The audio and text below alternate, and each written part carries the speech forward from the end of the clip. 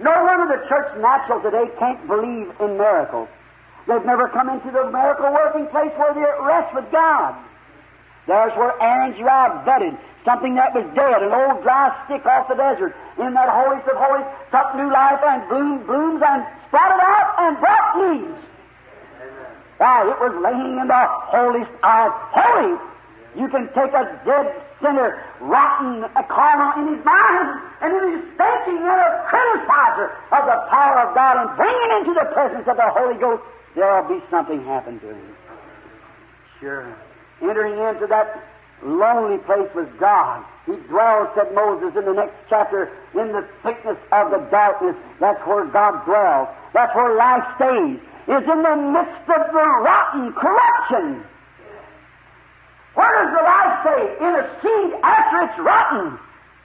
When it dies to itself, it brings forth a new life. Where does God stay? He'll stay with you if you're ready to die to yourself and give Him a chance. Service, body, intellectual, spirit, thoughts, and soul, your faith in God. Three room house.